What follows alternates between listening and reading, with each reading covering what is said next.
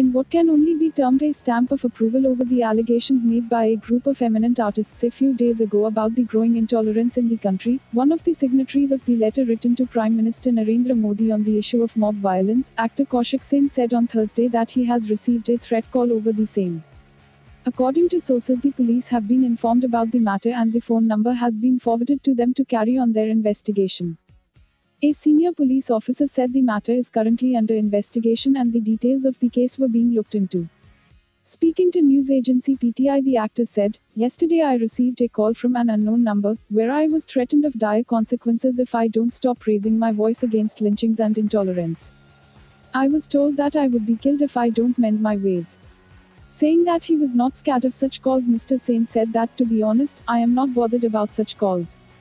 I have also informed other signatories about the call and forwarded them the number.